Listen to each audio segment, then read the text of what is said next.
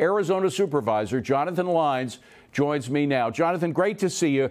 Uh, let me first talk about the containers. Were they having an effect? Were they stemming the flow?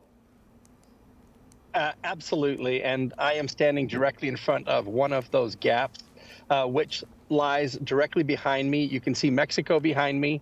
Those uh, containers served a purpose to give operational advantage to Border Patrol and to local law enforcement, where all of the people that were coming across the border were forced into one particular spot.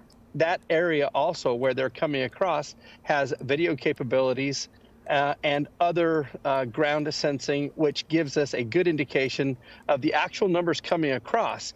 Now, with these five areas opened up right here, directly in my proximity with one and two miles, uh, we have seen an increase. Uh, right now, the water in the Colorado is significantly higher, so the numbers have been reduced.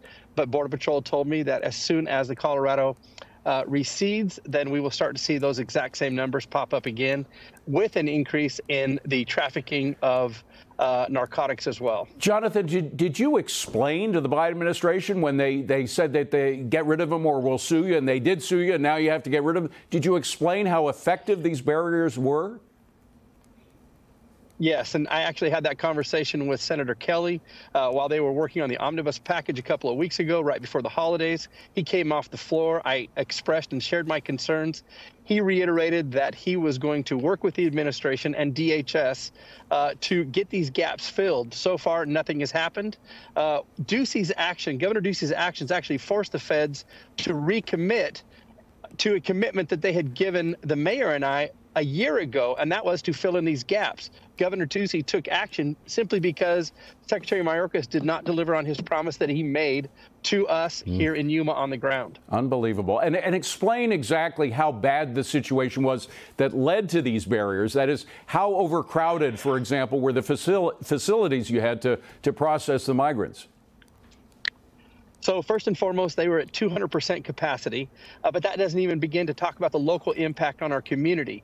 Our hospital is uh, in excess of $20 million of costs directly related to the illegals coming across the border, not to mention our NGOs, the food bank, and some of the other area agencies that have been assisting. Only one agency has actually been reimbursed. The rest of those costs have been borne by the uh, citizens of Yuma County and the state of Arizona. The state of Arizona and the citizens of Yuma and our NGOs here are doing the jobs that the feds won't do. I am here because I want to support Border Patrol in their efforts to provide national security and border security. And that's something that the administration is not concerned about. I'm concerned about the flow of narcotics coming across. I'm concerned about the fact that the cartels control our border. The federal government does not. They've abdicated that responsibility. And the cartels are making a significant amount of money. When you look at some of the costs of human lives across the border, hmm. less than 20 miles from where I'm standing, the cartels have been warring and they've had over 100 assassinations this year in an attempt to control this area of the border. Nobody talks about that. Wow. Unbelievable.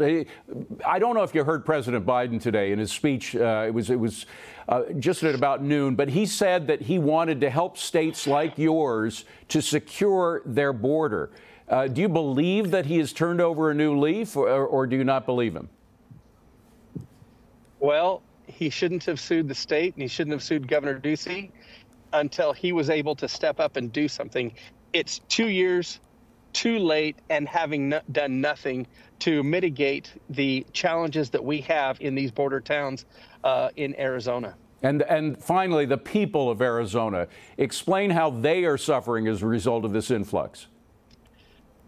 Well, you know, we have uh, Yuma in this specific area. We are an agriculture and a military town military has had to shut down exercises because of the illegals coming across the border, and the agricultural uh, production companies have had to add uh, additional manpower to keep people from walking through some of these areas. We have a concern about the security around food production. We produce 93% of all of the leafy green vegetables for the United States during the winter. Uh, it's just over a $3 billion industry. And the Biden administration has done nothing to assist us in this area, not to mention the other areas of Arizona. So, very quickly, do you think what we'll see Sunday is just going to be a photo op? Yeah, for the most part. I don't expect anything to change. We're told that these areas should be plugged up in 120 days, but we had that commitment previously from the Secretary directly. Uh, that should have been taken care of by September, and nothing has happened, and that's mm. why Governor Ducey acted. Supervisor Jonathan Lines from Arizona, we wish you the very best, sir. Thank you very much for being here. Appreciate it. Thank you.